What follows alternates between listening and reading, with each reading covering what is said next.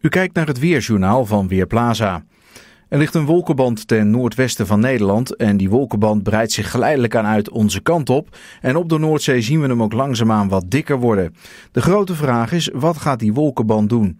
Nou, één ding is zeker, hij trekt langzaam het land in, lijkt zich ook wat uit te breiden. Alleen het ene model berekent dat de bewolking wat eerder oplost dan het andere. Neerslag zit er in elk geval niet bij in onze omgeving. Dat zien we alleen ten noorden van ons in de buurt van Scandinavië. Verder op veel plaatsen de zon, met name in Duitsland, maar ook in Frankrijk bijvoorbeeld. Goed, we gaan terug naar ons eigen land en dan zien we dat vanavond de bewolking toe gaat nemen. We hebben ook nog wel een paar opklaringen en de temperatuur zal zo rond een graad of 9 uitpakken. In de nacht daalt het kwik verder naar 3 tot 6 graden als minimum.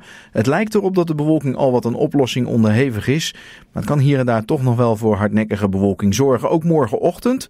In de loop van de dag gaat de zon steeds vaker doorbreken en aan het eind van de dag is het eigenlijk vrijwel overal weer zonnig. Temperatuur loopt op naar 13 tot 16 graden met als uitzondering de Waddeneilanden.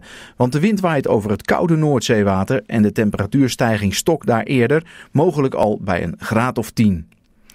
Dan de dagen die volgen laten zonnig weer zien met ook weer wat hogere temperaturen. De wind gaat draaien naar een oostelijke richting en daardoor wordt hij op de meeste plaatsen aflandig. Donderdag is het weer 13 tot 17 graden.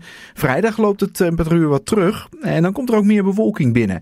Maar het is nog wel droog, dat blijft niet zo, want zaterdag kan er wel wat regen vallen. En ook de dagen daarna is het aan de wisselvallige kant.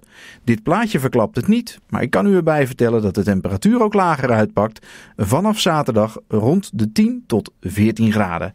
Ik ben Marco Verhoef van Weerplaza.nl.